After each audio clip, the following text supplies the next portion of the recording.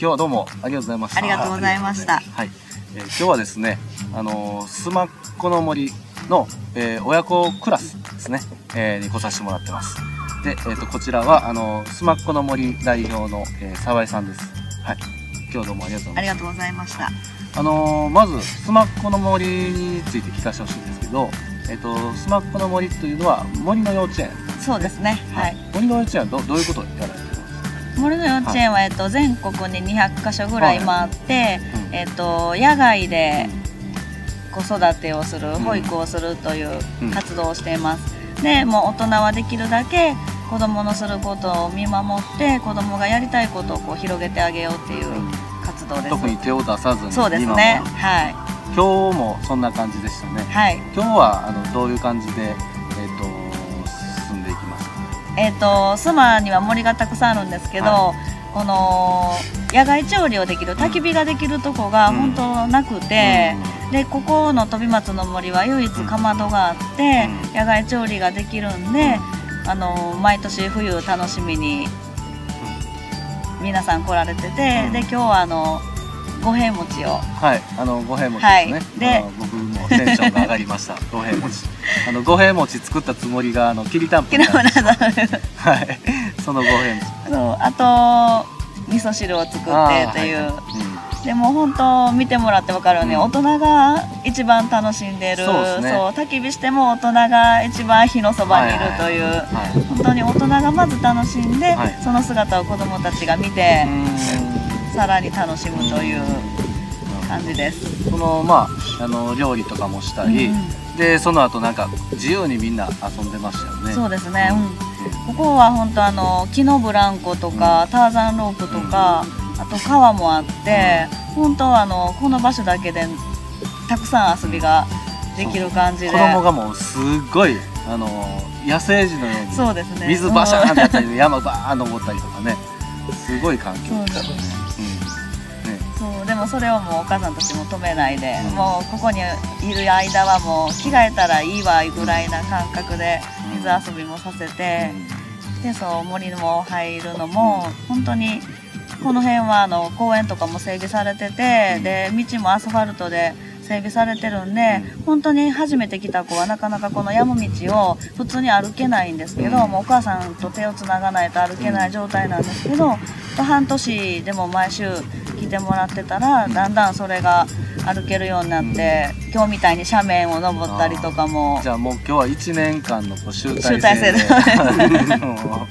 それを見ていただいて。でこの場所、まあ、先ほど、えっと飛松の森っていうふうにあの沢井さんおっしゃられましたけども、あのー今日は、えっとその飛松の森を、えっとこう整備されている飛松森の会から、えっと上松さん、はい。はい、来ていただいてます。はいえっとこの場所を、えっとずーっとお手入れをして、はい、えーこうあのお手入れ活動とかをされてるということなんですよね。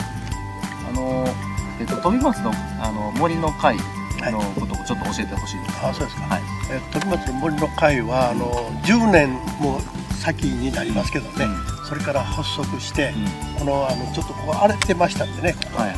それをあの環境整備するということで、私らが入って、いろんな設備を作ったりね。あの子供らが楽しく遊べるような形で今整備してますけどね。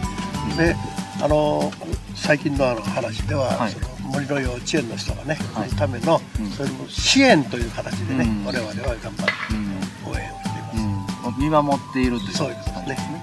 で横でなんか物を作ったりとか、そうです。それを、まあ、そう子が供たちが見てちょっとやらせてもらったりとあかーそうそう普段。めちゃくちゃいいですね。普段見ないことを見せてもらえるんですごい喜んでます。ああそうなんですね。なんかあの箸がすごい子供らが人気で。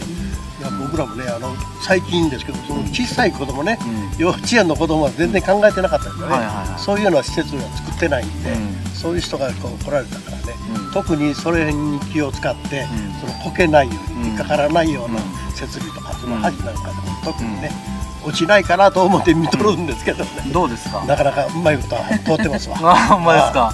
あれはあのやっぱり重心が低いんでしょうね、うん。なかなか怪我しないですよ、外に自然の中でも全然大丈夫ですね。ね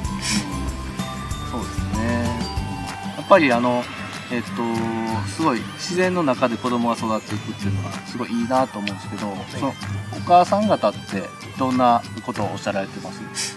えっ、と皆さん大体同じ子育て世代のことが、方が来られてるんで、やっぱり同じ悩みを共有したり、うん今日あの来られてたスタッフが言ってたんですけど、あの皆さんお母さんたち穏やかな顔されてるなって、でもやっぱそれはここの場所であってだしこう同じように子育ての悩みとかこうよろ一緒に喜んだりできるっていうのを共感できる場が本当にあるのでそこかなと思って。すごいですね。なんかあの妻はあのやっぱり町に近いけどもその自然がある。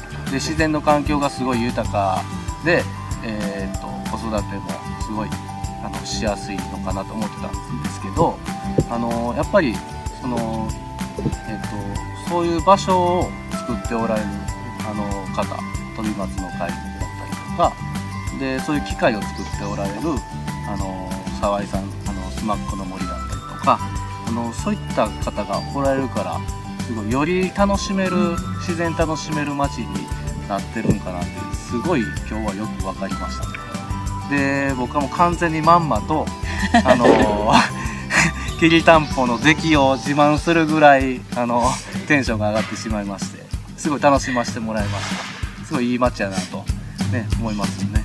なんかあのもっとこういう街にどんどん